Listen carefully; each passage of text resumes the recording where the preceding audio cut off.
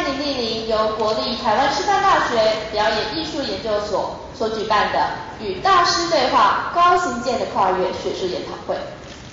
在研讨会开始之前，请先欣赏由表演艺术研究所带来的开幕演出《读你》。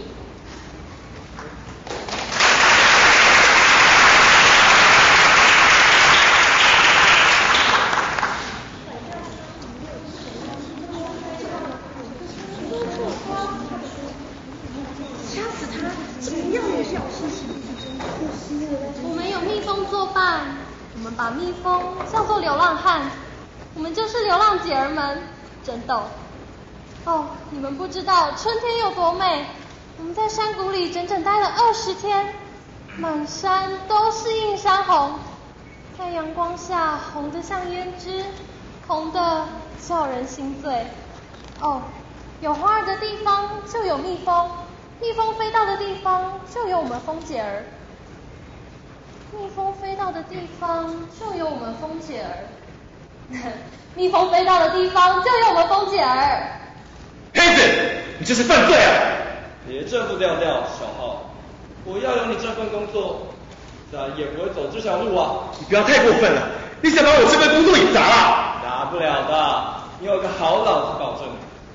可我什么都没有，什么都没有，什么都没有。你得到的已经够多了，你有了蜜蜂啊！你这夺人所爱的家伙，你这小子还争什么功呢？不对，小浩，不对，我黑你不是这号人物。你终于无所事事，也摆脱了烦恼。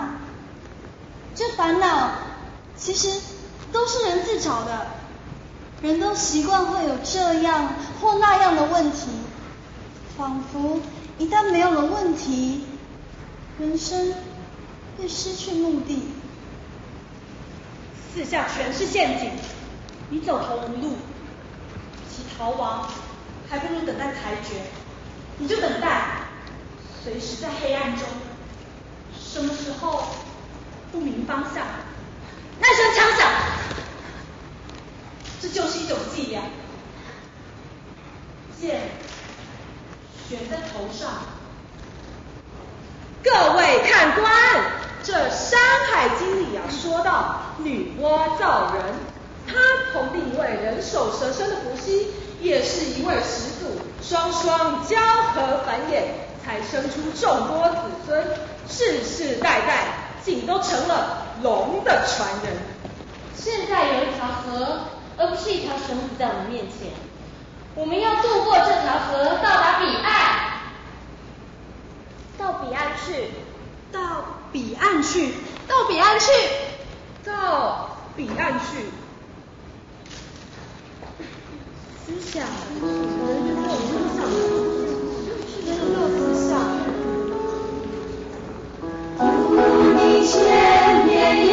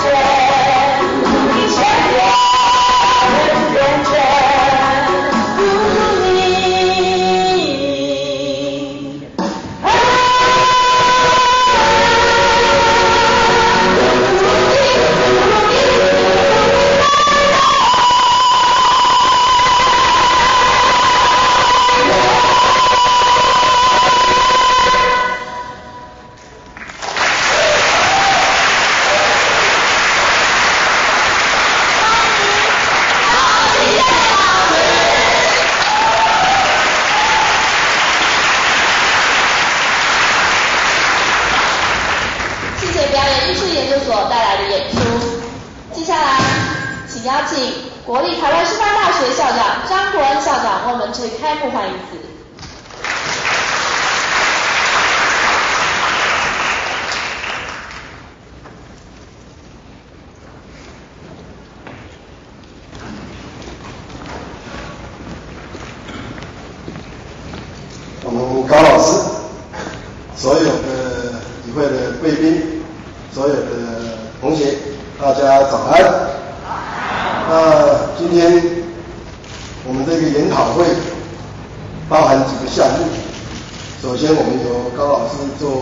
三十分钟的演讲，然后我们就开放互动。那下午会针对戏剧跟文学，做一个座谈。明天会针对美学做座谈，然后再做一个交流。那非常难得，我们高老师能够到师大来主持这样的一个研讨会。我们也希望从这个研讨会的过程里面，能够跟导师多了解他的一些想法。我想高老师本身不但是文学家，也是一个美学家，最重要的他也是一个思想家。事实上有很多从他的书里面，甚至他的画作里面，有一股那一种孤单、保持跟人类记忆来观察人类整个发展的那一种那一种感觉。那也是因为有这样子，哦，所以才能够创作非常多在以前文学创作里面未曾出现过的一些一些作品。那我相信它里面的一些内涵、一些想法，应该值得我们所有的对文学、对戏剧、哦对美学有兴趣，甚至对思想演变有兴趣的所有的一些专家、所有的学生。那今天非常荣幸能够有这个机会，我让高老师在本校将近两个礼拜的时间跟学生互动，也透过这样的一个一个比较长时间在学校里面的一个交流，更容易让学生就近来跟高老师做学习。我想这个也是我们请高老师当本校讲座教授一个很重要的一个一个目的。我们也希望在今天跟明天的时间里面，我们也能够真正的了解高老师的想法，从中能够学到我们人生处事的一个很重要的一些观念。我想在书里面有很多是非常有意义的一些想法，而且非常值得深思的一些想法。那我相信在今天跟明天的一个对话当中，可以让我们学得更多，也可以让我们更深入我们人类真正在世界上生存的一些意义。我想每一个人的目标不一样，经由我们更清楚的理解，然后更清楚的思考，我相信可以得到的应该会更多。那因为时间的关系，所以我们是不是就接下来是不是就请高老师能够上来，然后我们就开始做一个很简单的一个讲演。那我们是不是请高老师？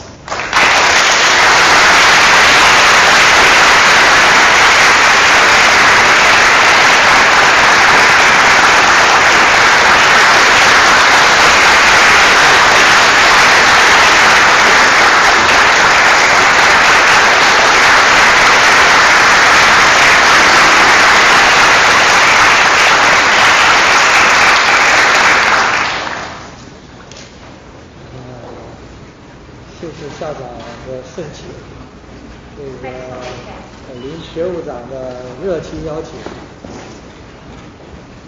呃，在座的各位老师、各位同学，啊，今天很高兴有这个机会和大家做这种交流。呃，我想做客气话就不用多说了，呃，立刻确定这个主题跨越。我们说可以说跨越了二十，刚刚从二十世纪跨越到二十一世纪，在我们背后的那个二十世纪是一个充满着动乱战争的世纪。我想人类还没有这么残酷的战争啊，大规模的战争和这么大规模的灾难。所以二十世纪呃值得很好总结一下。二十世纪两次大战，然后一系列的这个共产主义的革命啊，然后当然还有很多民族之间的战争，呃一直不断。这个后背后作怪的什么？我想就是个政治，而政治背后谁呢？就是意识形态。在二十世纪，这是在之前在人类社会之前没有的现象。所以这个意识形态作怪，我想是一个很重要的根源。这二十世纪的造成这么多灾难，我们现在已经进入跨越进入到二十一世纪了。但是我们是不是走出了这个意识形态？是是不是真正跨越了二十世纪？我说这是一个一个问题。这个问题，呃，我不知道在台湾的情况怎么样，但是在我现在生活的欧洲。人们并没有走出完全走出这个二十世纪的意识种种意识形态的阴影，所以我想今天要总结我们这个这个这个呃要对面对我们面对这个我们的呃新的世纪，我想有一个需要做一个做一个回顾，而这个回顾的前提就是就是丢掉意识形态。所以我从九十年代初就呃的一系列的这个这个除了文学创作和我的这个呃艺术创作以外，我也有一些思考，就思考的一个这个东西呃这些结果就呃发表在台湾联经出版社的这个叫没有主义这个集子里文集里，这个没有主义就是我的出发点啊。这个就是没有主义，换句话说，就是要超越意识形态，超越意识形态，面对呃我们人类生存的真实的状态、真实的困境，啊，同时也要面对人自身自己的问题。所以这里头有两个，呀，有呃，我认为文学艺术，文学艺术首先你要摆脱。在二十世纪非常蔓延的这个这个到处蔓延的马克思主义，啊，马克思主义把文学艺术作为这个这个这个改造世界的工具，换句话说，啊，重塑于某一种政治主张，换句话说，最后就沦落为某种政治主张的宣传品，啊，所以这最后在中国大陆，是吧？有。苏俄的列宁的文学艺术是什么呢？是革命的呃这个齿轮和螺丝钉，它并不没有很高的估价，它只不过是革命这个机器里头的齿轮和螺丝钉，是吧？这是从马克思演变到列宁主义。这个毛泽东呢有进一步，是吧？这个文学艺术什么？文学艺术要为工农兵服务，啊，换句话说，要为这个这个这个。为某一种政治服务，是吧？也就是要为所谓共产主义革命，为这种政治，为这种意识形态，啊，最后也就是为一个集权，最后沦落为为一个集权政治呃的工具。这个深深影响了中国文学界，但是其实也不仅仅深深影响中国文学界。这个这个意识形态这个思路，不仅影响了这个亚洲，我想也包括相当多的台湾的知识分子。和作家啊，曾经，呃，甚至是欧洲啊？全世界，呃，至今还有很多这个，我们到处可以听见，或者说要要把文学艺术什么要，要倾向性要纳入某种倾向，或者说就是要为呃用呃呃要就用这个现在的汉语的翻译叫介入，要介入某种政治，是吧？呃，某种意识形态，是吧？这个所谓介入，实际上不是介入，实际上是为某种政治服务，所以这个把文学艺术如果纳到这个地步来，我认为就是是一个一个巨大的灾难。可是我们回顾呃我们文学艺术的历史，从从这个西方繁盛的古希腊啊，到我们这个中国的这个呃。中国呃中华人文化的这个创这这源源起是吧？这个在先秦之前是吧，一直到一直到这个五四之前，这个文学艺术只不过是书写信息，是吧？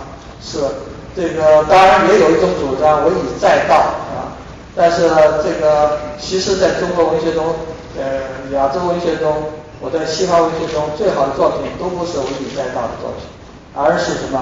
而是观世界，不是先提供一个世界观，先提供一个对世界的解说，或者一个乌托邦，或者一个伦理道德说教放在前面，文学作品来解说它，不是。而是首先丢掉一个现成的模式，一个思想的模式，而是冷眼冷静的观察这个世界，尽可能贴近真实，如是这般的描述这个世界，因此给人类提供一种认知，是吧？对世界的认知，包括对自我的认知，这是文学艺术的根本，啊，文学艺术所以它能够这个呃呃启开人的心智啊。能给人某种的精神上的这个升华和解脱，我认为正在于这一双人眼，啊？静观这个世界，就是观世界。因此，不是先有一个世界观，而是先要观察这个世界，丢掉一种现实的观念，去冷静的、尽可能贴切的去了解人在这个世界所处的这个处境。这个处境当然通常种种是。种种的困境啊，就了解这种困境，然后还要还有一个就是还要观呃观审人自己，所以这也是文学艺术的功能，是吧？不仅是这个这个呃描述这个大千世界，是吧？如是这般，同时还要努力的去去这个了解人自身。人人性、人情、人性的呃丰富和复杂，以及包括人情人性中的这个阴暗面。因为既然要充分了解这个世界，同时如果不如果不能充分了解自己的话，怎么有可能有一双清醒的眼睛来看世界？因此这里头，二十世纪又有另一个呃呃一种哲学是吧？深深影响了这个这个。二十世纪的这个呃知识界啊，呃就是尼采哲学，是吧？尼采哲学把人变成上帝啊，这个这个所谓超人，这个哲学家呃呃呃尼采当然是一个呃，如果说多尼采的诗，我觉得是很值得一读的。但是把尼采的哲学这个超人作为作为做人的根本，呃是可怕的啊。呃，尼采本人自己就是一个。呃，精神病患者是吧？他连自己的日常生活都不能料理，还是要他的家人是吧？他的母亲、他妹妹啊替他料理。所以把一个这个精神病人的这些这些呃臆想，变在现实生活中作为行为的这指导是吧？成为这么一种超人是吧？那么上帝已死，只有这个超人来代替上帝。呃，这种哲学导致深深影响了。相当多的这个二十世纪知识分子，包括那些革命家，是吧？他们都要改造世界，这个他这个改造世界就是，呃，他们代他代替上帝，啊，他对着这个一层混沌的这个自我，其实佛教里最早对这个这个这个这个这个这个人的这个自我有清晰的认知，啊，是在中国的智慧，是吧？东方的智慧，在西方的呃这个思想里头，其实也是，是吧？对人性的这个阴暗面，是吧？我当然认为，二十世纪另一个重要的哲学思想家是弗洛伊德，啊，弗洛伊德企图了解人性之中的这个那个阴暗面以及下意识的冲动的啊这些呃，做出一些，他提供了一把钥匙啊，作为做一些清醒的认认清醒的认知。当然，弗洛伊德仅仅是一个起点。呃，文学艺术也是，文学艺术也是要企图认识人生啊。因此要从两个方面，一个是要观世界，一个还要清醒的认知人自身自我。这个我在我自己的创作中，就是把我的文学艺术创作，呃呃，不设置前提，啊呃，这个没有主义。在我又提出一个看法，叫做冷的文学，是吧？不是以文学作为武器，是吧？这个这个呃呃这个。我我我相反跟这个在呃二十世纪中国文学大家说这个嗯呃呃以以鲁迅为代表的是吧？这个要拿文学来改造世界的话，我我恰恰有一个相反不同的看法是吧？我认为文学艺术倒过来应该给人一个一副清凉气啊啊，不是让人们这个这个热血沸腾是吧？啊啊，应该倒过来清醒的呃观述啊观审这个世界和观审人自己。我们现在面临的这个世纪，二十一世纪，呃，出现了那么多的新问题啊，这个有谁事先能预料得到？我们拿最近的一件大事情来说，就是这个全球化。全球化到今天不过是呃十年功夫，真正开始全球化也不过就十多年功夫。这十多年功夫，世界发生了巨大的变化，谁意料得到？这个主张全球化的西方国家是吧？当时是推动这个全球化，所以意料得到倒过来是这个呃，现在西方从美国到欧洲。啊，我我生活在欧洲，所以我对欧洲的啊更多的有更多的了解。这个困难重重，是吧？这个这是全球化的设想者没有意识到，这世界能够呃预测的，这本身就是一个很大的问号，所以这个人面前有种种的问号，我以为有问号比立刻拿出一个现成的答案要强。这就是我的文学艺术的这一个出发点，就是质疑啊，质疑就是质疑，就唤起人的一种啊啊，就唤不是呼唤人们投入某种啊政策啊或者叫呃，而是让人们清醒的呃人眼观察这个世界和呃。一双清明的眼睛，那第三只眼睛是关注、关心人自己，是吧？这个人自我通常是一团混乱，是吧？如何清醒的观审自己，再来观审这个世界？我以为这就是文学艺术的呃功能，因此不是介入，因为这个文学要介入生活、介入政治。是至今呃东方到西方，欧洲到亚洲啊，这个美洲呃，包括在大学里头是吧？左派知识界里头非常盛行的观点，我恰恰要阐释这种观点。所以我今天做这么一个开场白，就是希望和大家进座台进一步的讨论。那我想。高老师就针对在文学还有意识方面，我做一个很简单的引言。啊，不晓得各位，当然除了引言这部分以外，事实上高老师有很多作品，在针对作品这个部分有没有其他可以跟高老师做交流的？好，来请请。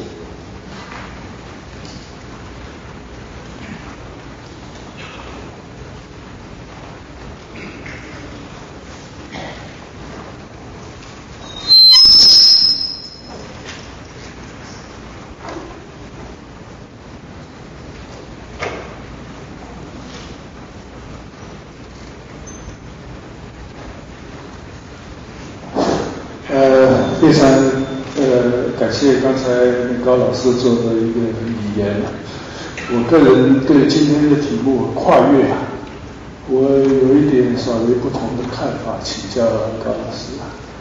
就是二十世纪啊，我们从那个刚开始，中国大陆啊依照毛泽东的说法，他是中国社会是有三座大山：资本主义、帝国主义。还有封建主义，但是二十一世纪啊，现在如果你到大陆去观光或者旅游或者做停留，你可以发现，所有的网民啊，所有的一般民众啊，大家关心的是二十一世纪的三座大山。他们认为现在的大山是什么？是医疗问题，是教育问题。是买房问题，看起来好像比以前的大山要容易解决啊。但是中国改革开放现在三十多年了，毫毫没有诚意来解决这个问题。这个这个可以归结到大陆的执政者，他们对于人民的希望，他根本没有没有在听，没有在听。所以说，就是刚才高老师讲的，文学是不介入，但是相反的，在中国大陆左派的文学，它是十分的介入。一个介入的社会，里面有这么多不介入的文学家，那这个社会啊，永远没办法改善。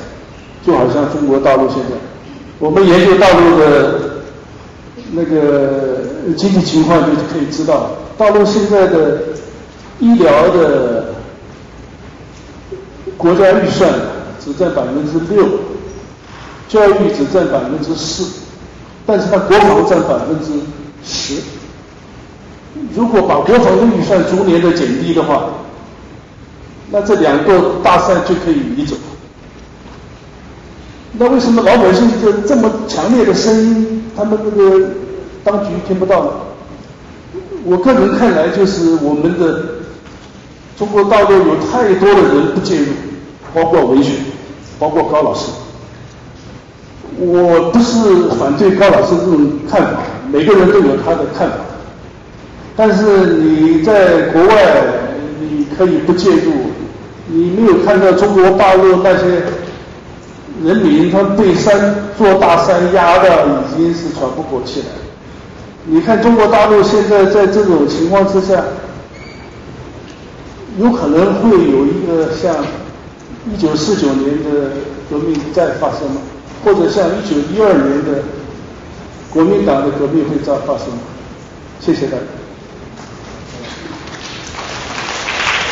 我是师大的校友，我是张志勇，谢谢。这个对中国的历史的看法，这是很大的问题。怎么重新看待中国历史啊？这个我还有还有另一个看法。这个历史有种种的历史，不是只有唯一的历史啊。历史，而我们所看到的历史啊，迄今为止最主要的大写的历史，都是政治权力书写的历史，都是官方的历史来说啊。这是一种历史。这个官方的历史，随着这个政治权力的更替。就重新改写，啊，每一次政治权力更替，历史都要改写一遍。换句话说，当然我们学校里教的历史教科书总是在不断的改写。那么真实的历史是什么？包括您刚刚讲的两个革命，啊，一个呃中国大陆的这个这个，一个是这个孙中山呃领导的这个辛亥革命。啊一个是这个毛泽东的这个这个这个呃叫做什么呢？我们这个共产主义，它也不是共产主义是吧？它叫做新民主主义革命。嗯，对，确切的呃语言叫做新民主主义革命，就是毛泽东自己的语言啊。这两个革命随着这个呃呃，我们也就刚刚一个世纪。有多少版本，是吧？到底哪一个版本是正确的版本？无法知道。那只能说每个人你自己去得出自己的认识。我讲文学艺术就这样，文学艺术如果是追寻这个版本来解说世界，这个我这个作家的书就得不断的改写，是吧？可是，一部好的文学作品。不管是《诗经》也好，《楚辞》也好，是吧？能流传到至今，他一个字都不懂，他还有生命力，因为他触及了人生中的真实的状况，是吧？人情人性。如果我们把文学艺术也纳入这种官方历史的写法，是吧？去写这么一种啊，这个贴近政治，是吧？这个煽动革命的这种文学，这样的文学我们已经见得太多了，是吧？至今还有谁在？所以文学艺术不从政，啊，文学艺术家，我以为他如果想得到一些清醒的人士对人们真有帮助的话，恰恰是不从政，这是我的看法。不从政不等于他不关心社会，不从政不等于他不关注社会，是吧？相反，他站在一个我以为是一个更清醒的层次，啊，来关注这个社会。比方说，我们不用急现在谈中国大陆，因为我已经远离中国大陆，所以中国大陆你讲的这三座大山，我一点都不清楚，因为我离开中国已经二十四年。呃，但是我清楚的是，中国这个集权政治至今没变，是吧？呃，谁能改变它？我想我也改变不了，你也改变不了，是吧？这是一个呃极为复杂的问题，啊，中国社会怎么呃，我甚至不认为，在我有生之年，这个集权政治啊啊能改变，我甚至不这么认为，是吧？人们往往认为我是悲观的看法，我这个看法在多少？在这个呃呃九十年代末，不是九十年代，就是呃呃呃天安门事件之后，天安门事件之后，有不少的知识分子是吧？预言三个月以后就要发生变化，是吧？就这个这个这个这个集权政治就要倒台，啊，有说三年以后啊。我当时说的是，我不期待在有生之年，是吧？这个这个这个中国会有在这个政治上会有有根本的变化，是吧？所谓民主政治能够在中国顺利到来，我不认为。我想我这个看法是清醒的看法。现在已经过去了呃这么长时间，是吧？呃，当然我改变不了，是吧？我想哪一个人也改变不了，这是一个极为复杂的一个历史的进程。我不认为中国的集权政治。正像有些从事民运的朋友，他们认为明天就可以改变，我不认为，是吧？你可以希望他明天改变，是吧？但是这个希望仅仅是您的希望，是吧？呃，这是一个一个一个复杂的过程。台湾实现民主政治，这是呃，我说是台湾人的智慧，啊，也是台湾的从诸多的历史条件，啊，从建言以来，台湾实现民主政治也是有一个过程。但是这个是非常顺利的过程。中国大陆要实现这个过程，我想是要比的呃要艰难呃遥远得多，是吧？还远远没有开始这个进程。这是我对您对中国大陆的问题的一个回应，以及对作家从政的回应。